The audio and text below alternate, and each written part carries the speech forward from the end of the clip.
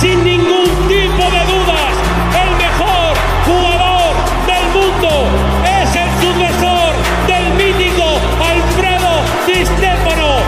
en nuestra historia es Cristiano